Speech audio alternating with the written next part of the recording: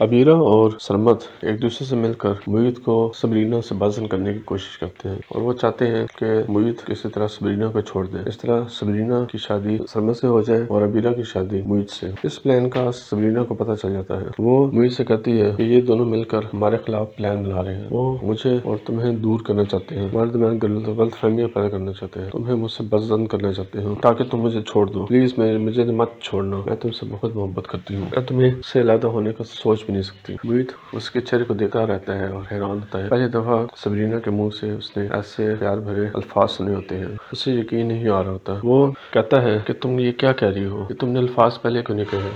तुमने अपने दिल की बात पहले क्यों नहीं कही? अब तुम क्यों कह रही हो? सबरीना कहती है कि अब मुझे मेरी बर्दाश्त से बाहर हो गया है। अब मैं मजीद बर्दाश्त नहीं कर सकती मैं तुमसे दूरी को बर्दाश्त नहीं कर सकती अब मुझे तुमसे शदीद मोहब्बत हो गई है। मुईद खुश होता है। वो कहता है कि तुम बहुत अच्छी हो। तुमने हमेशा मेरा साथ दिया। तुमने हमेशा मेरा ख्याल रखा। इतना ख्याल तो अबीरा भी नहीं रख सकती। तुमने किसी बगैर किसी गर्ज के, बगैर किसी लालिश के मेरा ख्याल रखा। मैं तुम्हें कैसे छोड़ सकूँ तुम परेशान ना हो। मैं तुम्हें किसी सूरत में नहीं छोड़ूँगा। जहाँ तक अबीरा की बात है। मैं उसके अजायम को कामयाब नहीं नहीं होने दूँगा। ये सुनकर